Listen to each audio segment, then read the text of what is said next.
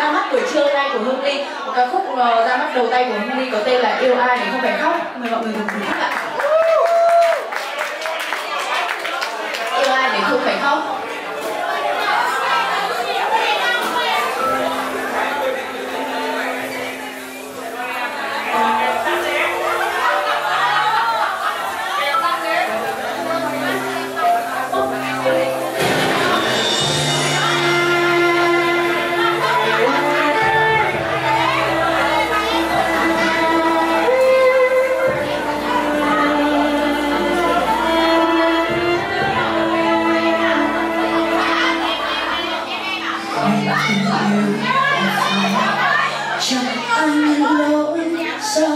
đã sai chỉ đơn giản lặng yên và chỉ cần không thấy buồn để không phải đau.